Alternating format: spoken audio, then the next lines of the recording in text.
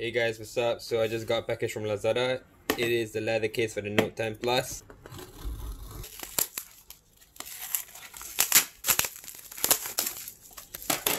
So I got my receipt.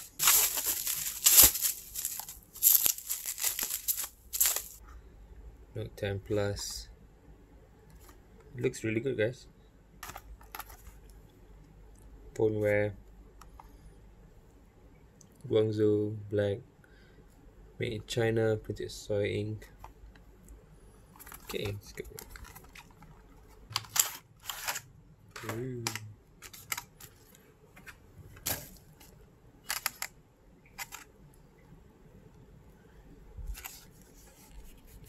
Feels good.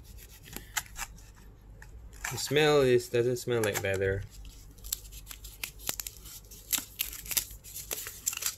Very premium you can see the lining. I'm gonna make a sound there. So the black lining is over the top of the leather so it fits the leather in nicely. So but you do feel that that black thing that border.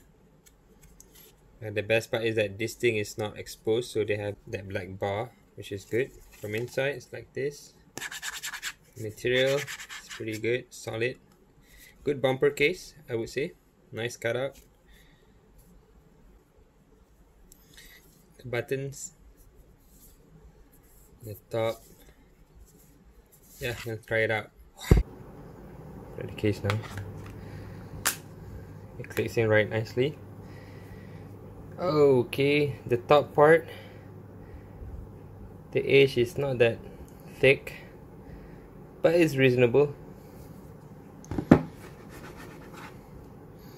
feels slimmer it feels slim ah. it looks like a whole glass on the phone which is I really like. And it does look slimmer.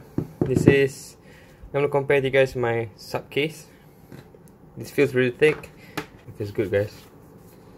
Ooh, feels premium.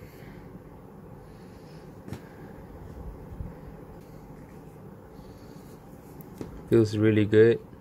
This one is the shining part looks good. See that black part? Yeah it's that gap there. It's okay it's not noticeable that one line right there. It's still reasonable looks good. Does it wobble? No doesn't wobble. So this part right here that thick part as you can see it's square all over uh, just to make it raise a bit I suppose. Or they can be flush but I don't mind having this part raised a bit. As long it doesn't like wobble. Bottom part so S Pen it's possible. Top part two microphones the SIM card is totally closed of course. Okay. The volume up and down works working good okay. It's good guys. Seriously it looks dope. It looks like a premium quality case which I don't have to spend the Samsung original one. So you guys can get this uh, the link down below. And yeah.